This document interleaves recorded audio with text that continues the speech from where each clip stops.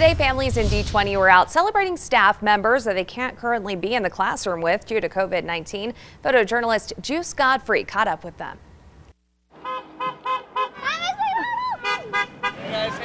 The teacher said that they were going to give a parade for all the kids because they miss them and, you know, it's been hard not being able to see their students. We just wanted to come support the school. We miss it. Asher misses all his teachers and friends.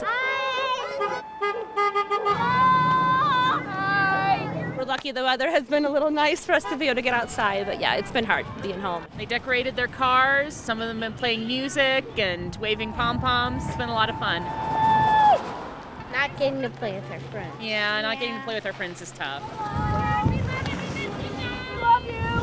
I think it just brings us together. I mean, we can't be socially together, so but it just brings us together just to show um, the support and show that we still we love them and they still love us and miss us. It's very special that the teachers are doing it because it's reminding them that um, we're still all together, even though we can't, you know, assemble in the classroom. Yeah. They're still there for us and they still love us. Hi, Mrs. Driver. yeah. I wouldn't mind getting them back to school myself.